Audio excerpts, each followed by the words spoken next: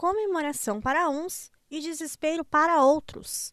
O uso de fogos de artifícios comuns, com barulho, podem causar uma série de incômodos ao redor, seja para bebês, idosos ou principalmente animais. Um projeto de lei procura proteger os ouvidos mais sensíveis e evitar reações mais graves. Há casos registrados de convulsões até a morte.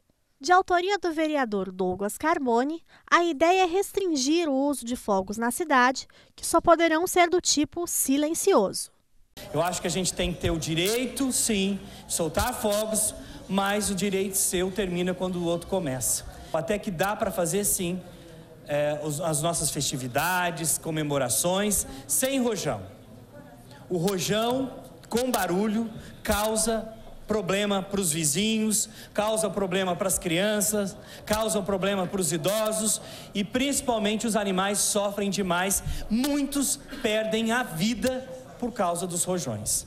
Os vereadores Nunes Coelho, Vivi da Rádio, Orestes Vanoni, Dentinho e Bob também apresentaram posicionamentos favoráveis ao projeto. Na mesma sessão, os vereadores também aprovaram outro projeto de Douglas Carbone, o atual Skate Plaza da Praça Nino de Matos receberá o nome de Guilherme Augusto Ferreira da Silva Roque, o Guilherme Feijão.